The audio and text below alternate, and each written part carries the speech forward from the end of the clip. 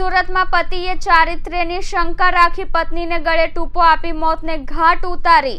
આખી રાત મૃતદેહ પાસે સૂતો રહ્યો. હત્યાના આરોપી પતિને પોલીસે ઝડપી લઈને આગળની કાર્યવાહી હાથ ધરી હતી. સુરતમાં દિવસે ને દિવસે પતિ દ્વારા પત્નીની હત્યાના બનાવમાં વધારો થઈ રહ્યો છે. આજે ફરી એકવાર શંકાશીલ પતિએ તેની પત્ની પર ચારિત્ર્યની શંકા રાખીને હત્યા કરી હોવાનું સામે આવ્યું છે. કાપોદ્રા વિસ્તારમાં આવેલી શમા સોસાયટીમાં પતિએ જ પત્નીનું ગળું દબાવી દઈને હત્યા કરી. નિર્દયતાની હદ વટાવી ચૂકેલા પતિએ હત્યા કર્યા બાદ મૃતદેહ પાસે જ સૂઈ જઈને રાત વિતાવી હતી. હિચકારી હત્યા કરનારા પતિને કાપોદ્રા પોલીસે ઝડપી લઈને આગળની કાર્યવાહી હાથ ધરી છે. ખીમણિયાના વીસ વર્ષ પહેલા લગ્ન થયા હતા અને બે બાળકો પૈકી એક હીરાના કારખાનામાં કામ કરે છે. પતિ હીરાના ખાતામાં મેનેજર તરીકે કામ કરે છે. વતન જુનાગઢના વિસાવદરમાં વિઠ્ઠલભાઈના ભત્રીજાના લગ્ન પ્રસંગ બાબતે બંને પતિ પત્ની વચ્ચે ઝઘડો થયો.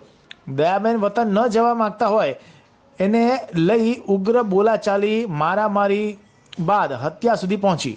વિઠ્ઠલભાઈએ દયાબેનને પેટમાં કોણી માર્યા બાદ ગળે ટૂંપો આપી ગુસ્સામાં પતાવી દીધી.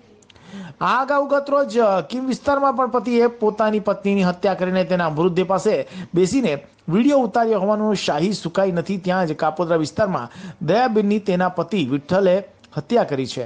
હાલ સમગ્ર કેસમાં આરોપીની પોલીસે ધરપકડ કરીને વધુ તપાસ હાથ ધરી છે.